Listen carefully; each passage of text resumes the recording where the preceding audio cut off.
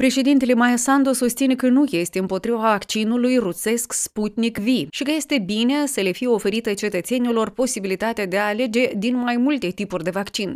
Într-un live cu diaspora din Germania, Maia Sandu a remarcat că vrea ca toate tipurile de vaccin care sunt aduse în țară să fie sigure pentru cetățenii Republicii Moldova. Eu petrec foarte mult timp încercând să obțin acces la vaccin.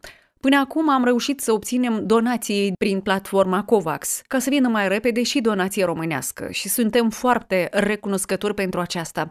Până la sfârșitul acestei luni vom avea aproape 100.000 de doze de vaccin, care vin și sper să se accelereze procesul de vaccinare, a adăugat Maia Sandu. Ea mai spune că se discute și despre următoarele tranșe care vor veni în luna aprilie și că discută cu toți partenerii, inclusiv cu ambasada Rusiei, despre vaccinul rusesc. Nu este nicio piedică din partea noastră. Din potrivă, există foarte multă dezinformare și foarte multă minciună pe care o răspândesc anumite personaje politice pentru că vor să adune sprijin politic pe acest subiect și asta este urât pentru că e vorba de viața oamenilor și cu cât mai repede ne vaccinăm, cu atât mai multe vieți salvate, a declarat Maia Sandu. Întrebată dacă va fi carantină de Paști, președinta a menționat că este foarte greu de spus cum va fi situația, având în vedere cifrele în creștere privind îmbolnăvirile și decesele asociate infecției COVID-19.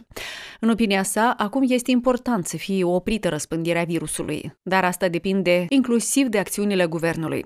Maia Sandu și-a exprimat speranță că se va reuși acest lucru până la Paști, așa că cetățenii moldoveni din afara țării se poată veni acasă să-și vadă rudele și familiile.